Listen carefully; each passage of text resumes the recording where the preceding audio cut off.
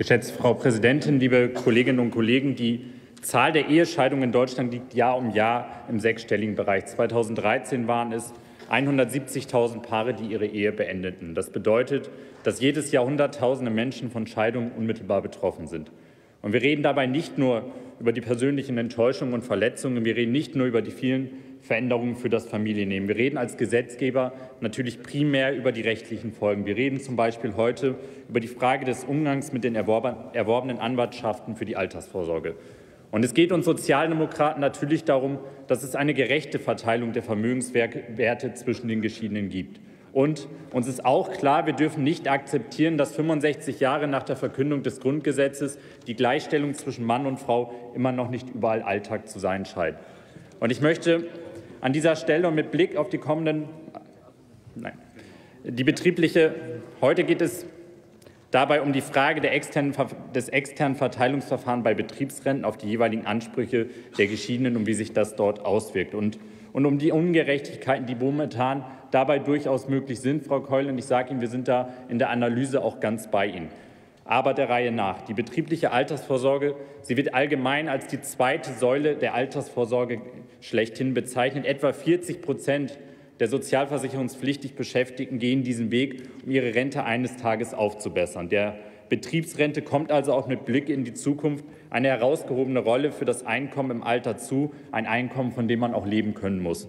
Und ich möchte an dieser Stelle und mit Blick auf die kommenden Beratungen auch deutlich machen, wir sollten das im Hinterkopf haben und sicherstellen, dass wir die Akzeptanz der Betriebsrenten am Ende nicht gefährden.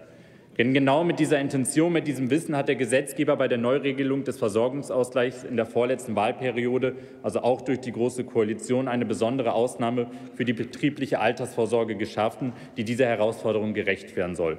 So werden normalerweise im Falle einer Ehescheidung oder Trennung die Versorgungsanrechte, die die Partner während der Ehe erworben haben, intern geteilt. Das heißt, der Versorgungsträger, sei es eine Kasse oder der Arbeitgeber, nimmt den Ex-Partner, das ist in der Regel oftmals noch die Frau, als Versicherten auf, wobei jeder der Partner die Hälfte der erworbenen Ansprüche erhält.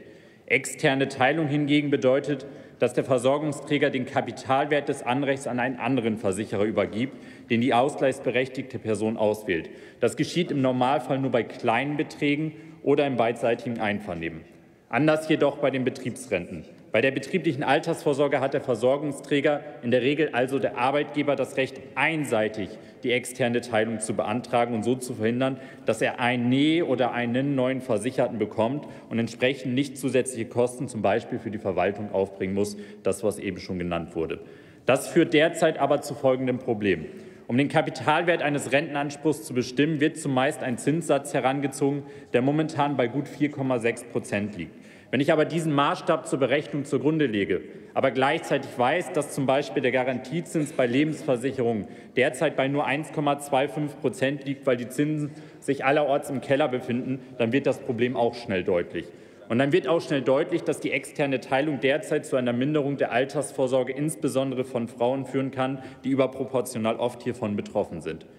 Der Deutsche Anwaltsverein hat in Beispielrechnungen angeführt, dass die am Ende ausgezahlte Rente um mehr als 50 Prozent niedriger sein könnte, als sie es bei der Anwendung der internen Teilung gewesen wäre. Also eine deutliche Verletzung des Halbteilungsgrundsatzes. Allerdings ist, diese, ist dieser Zahl gegenüber, und das hat die Kollegin Sütterlin Waag gerade auch schon gesagt, zumindest eine, eine gewisse Skepsis gegenüber angebracht. Hier wird zumeist, äh, zumindest in den dramatischen Fällen von einer Zeitspanne von über 40 Jahren zwischen Scheidung und Rente und einem ebenso lange anhaltenden Niedrigzinsumfeld ausgegangen. Das eine darf man wohl zumindest als nicht die Regel und das andere als zumindest nicht Gott gegeben bezeichnen. Tatsächlich fehlt es uns an belastbaren und aussagefähigen Zahlenmaterial.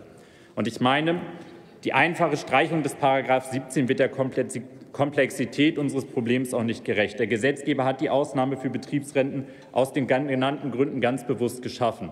Und wir sollten Belastungen der betrieblichen Altersvorsorge vermeiden, wenn wir sie denn letztlich vermeiden können. Dabei sollten wir im Auge behalten.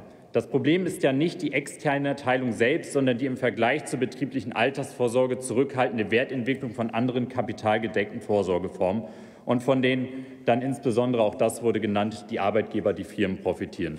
Wir befinden uns seit Jahren in einer andauernden Niedrigzinsphase und hier ist keine Lösung in Sicht, hier ist kein Ende absehbar. Hätten wir jedoch andere Entwicklungen auf dem Kapitalmarkt gehabt, hätten wir das heutige Problem auch nicht. Darum geht es uns zwar darum, das Problem anzugehen, aber dabei nicht das Kind mit dem Bade auszuschütten.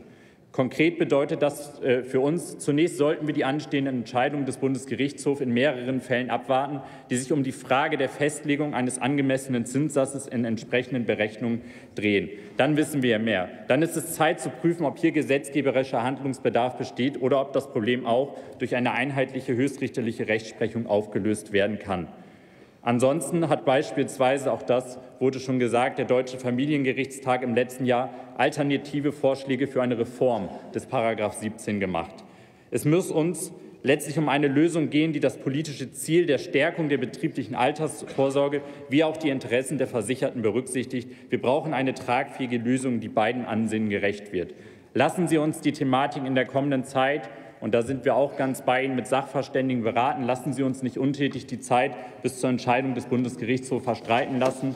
Lassen Sie uns die Thematik äh, intensiv beleuchten und gucken, je nachdem, wie die Entscheidung des BGH ist, ob wir am Ende eventuell gesetzgeberisch tätig werden müssen. Vielen Dank. Vielen Dank. Nächster Redner ist Dr. Volker Ulrich, CDU.